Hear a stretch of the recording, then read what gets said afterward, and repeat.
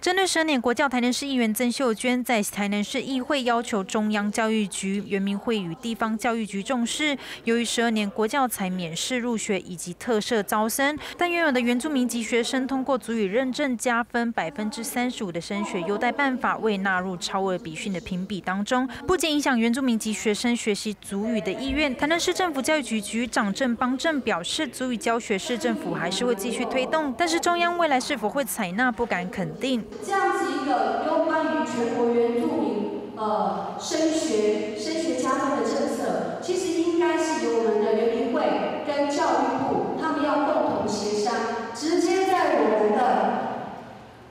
直接在我们的原住民学生升学优待及原住民公费留学办法里面哦，直接修订就可以了。课程的规划应该会在下一个阶段里面再继续再做一个公法。教育局这一部分仍然按照现在的这个进度的向前。我是说教育部，教育部那边我才会作为下一个阶段的公法，因为那个跟课程纲要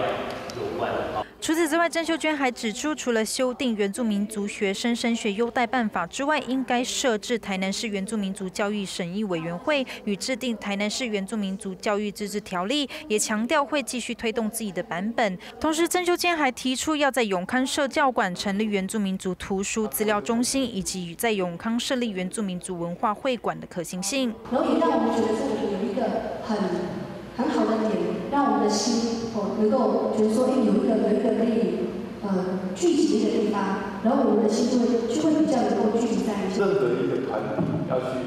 在那边有个固定的空间，大概地方的人大概都会反对。所以我大概想，他们是想要维持他们的空间可以去使用，